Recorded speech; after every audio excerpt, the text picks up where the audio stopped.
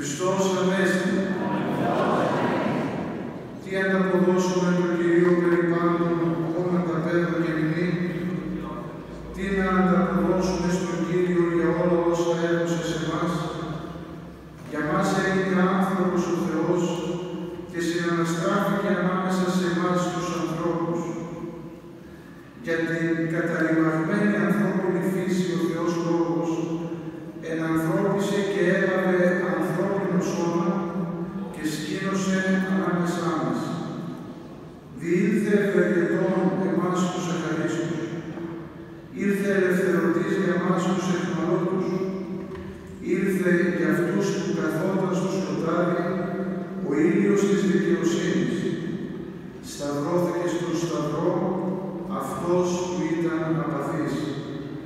Κατέβηκε στον άδειο το φως.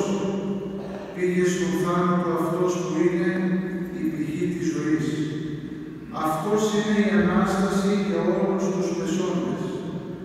Για όλα αυτά μαζί ας τον άξουμε. Θεέ μας, δόξα σε Σένα, όπως ψάλουμε την Κυριακή στους ένους του βαρέως ύπου. Αγαπητοί μου, μέσα σε λίγες σειρές του ο Αναστάσιμος Σύγχρος ζωγραφίζει όλο το λειτουργικό έργο του Κυρίου μας. Με απόλυτο θαυμασμό και απορία, ο Ιμνορός αναρωτιέται σαν τι τάχα θα μπορούσε όλο το ανθρώπινο γένος να ανταποδώσει ως ευχαριστία προς τον Κύριο για όλα όσα μας έδωσε.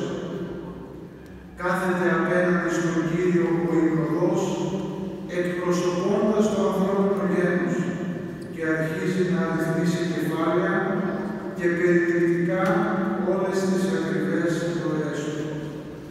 Πρώτον, για τη σωτηρία όλου του γένους εκπώνησε σχέδιο δράσεως. Η δε πρώτη κίνησή του ήταν να γίνει άνθρωπος, νέος Αδάμ, διότι ο παλαιός είχε καταφθαρεί. Ποιος άνθρωπος τα σκέφτηκε αυτά, ποιος ανέβηκε στον ουρανό να πάρει τη γνώση, ποιος την κατέβασε από τα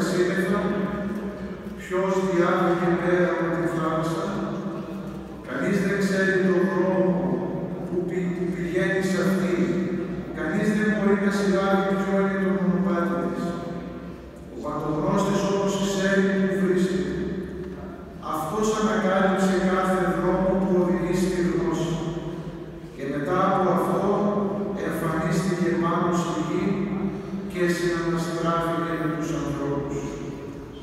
Ο ενανθρωπής σας Κύριος δεν τράπηκε να μας αποκαλεί αδελφούς του. Γι' αυτό λέει, θα φανερώσω το όνομά σου στους αδελφούς μου.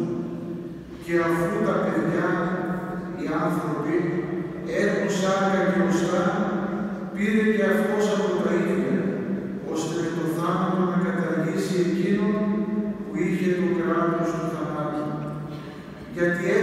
να βοηθήσει εκείνους που δοκιμάζονται σε κάτι που δοκιμάστηκε και έπαθε ο ίδιος, γράφει στην προς Εβραίους επιστολή ο Απόστολος Παύλος.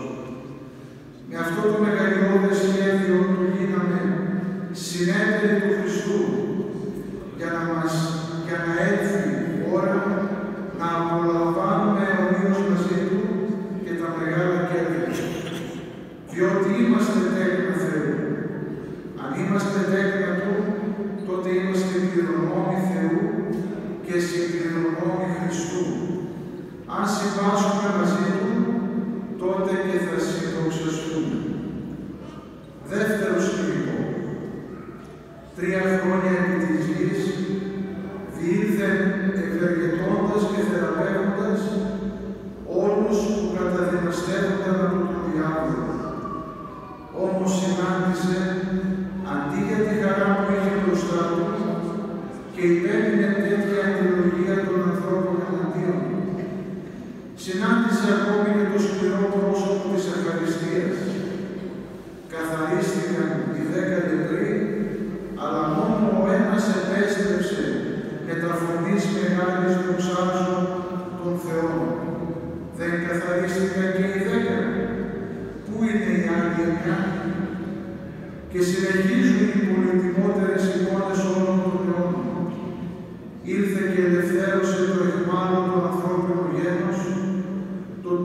τυραννούμενο υπό του διαβόλου. Ήρθε και φώτισε τον κατασκότεινο άδειο. Απαθής υπέμεινε το διασταυρό θάνατο, για να ξεχρεώσει όλα τα αρχαία οφείλματα, ο πάνω χρεολίτης ανθρώπων. Τέλος, απόψε, σε αυτή τη νύχτα φτάσαμε και στην κορυφή, στο σημείο το οποίο ήταν ο τελικός σκοπός όλου του σχεδίου της Θείας Οικονομίας, η Ανάσταση. Η Ανάσταση του Χριστού σήμανε και την Ανάσταση δια τους μεσόντες. Όλα τα τέκνα του πρώτου Αδάμ παίρνουν νέα ταυτότητα και γίνονται πλέον τέκνα του νέου Αδάμ. Για την Ανάστασή μας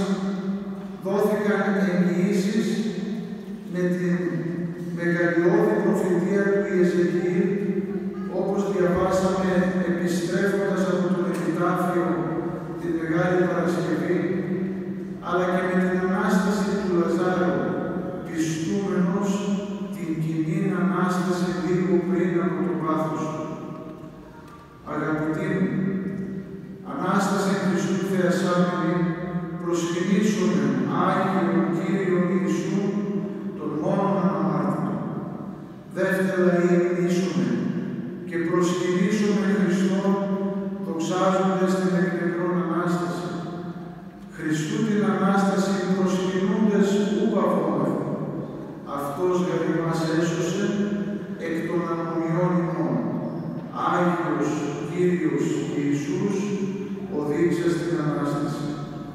Σε αυτόν ανήκει η δόξα